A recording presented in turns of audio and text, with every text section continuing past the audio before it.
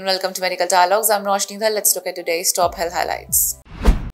Using online forums, agents to procure patients can lead to three months of suspension. Using online forums or agents for procuring patients will now be considered a violation of the new Code of Medical Ethics laid down by the NMC and will attract a penalty that can go up to three months of suspension of the license to practice. Section 9 of the Code of Conduct prohibits any kind of commissions and fee splitting and explicitly states that RMP shall not use online forums or agents for procuring patients. Further, the violation of this clause can lead to suspension of the license to practice for a maximum period of three months. Telemedicine allowed, but procuring patients online by paying commission, etc., is not allowed. Any kind of fee splitting is not allowed. Not just online, the new regulations call for a complete ban on any kind of fee splitting or commission practice. These provisions shall apply with equal force to the referring, recommending, or procuring by an RMP of any patient, specimen, or material for diagnostic purposes or other studies